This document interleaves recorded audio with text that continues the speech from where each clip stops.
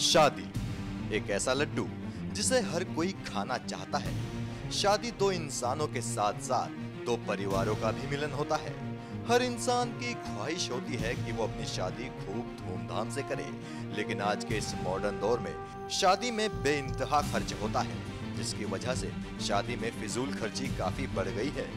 लेकिन अब शादी में फिजूल खर्ची पर जल्द ही कानूनी डंडा चल सकता है। कांग्रेस की सांसद रंजिता रंजन ने इस सिलसिले में प्राइवेट मेंबर बिल पेश किया है। आपको बता दें, रंजिता रंजन बिहार के बाहुबली नेता, पप्पू यादव की पत्नी है। रंजन ने उम्मीद जताई कि उनके विधेयक पर सियासत नहीं होगी और सभी पार्टियाँ इसका समर्थन करेंगी। उनके मुताबिक, कई सांसद खुद भी महँगी शादियों पर लगाम लगाना चाहते हैं। विधेयक के ज़रिए शादी को शानो शौकत के दिखावे का ज़रिया मानने वाले लोगों में डर पैदा होगा। देश के युवा भी बिल का समर्थन करेंगे। उन्होंने ऐलान किया कि अगर सरकार इस बिल को पास कराती है तो वो संसद में खड़े होकर सरकार को सलाम करेंगी। मैरिज बिल जुलाई 2016 में पेश किया गया था।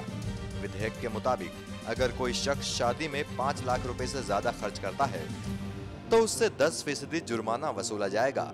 जुर्माने की रकम एक ऐसे कोष में जाएगी, जिससे गरीब लड़कियों की शादी में आर्थिक मदद पहुंचाई जाएगी। अगर ये बिल पास हो जाता है तो ऐसी शादियों पर रोक लगने की उम्मीद की जा सकती है। एनएमएफ न्यूज़ की रिपोर्ट।